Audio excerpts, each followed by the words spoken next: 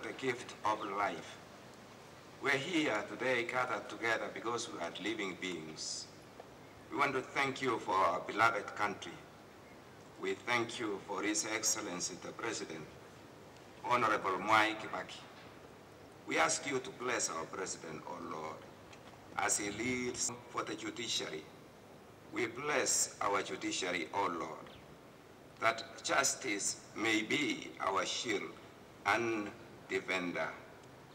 We bless the man who has been our Chief Justice. We want to bless this man. They will always know that there is God who is always just. May they be guided by justice and integrity, so that all who come to be served, because I make this humble prayer in the Lord's name. Amen. Your Excellency, Lady of Kenya and the legal fraternity, permanent secretaries present, distinguished Ms. Lydia Achode, to make some introductory remarks. Thank you.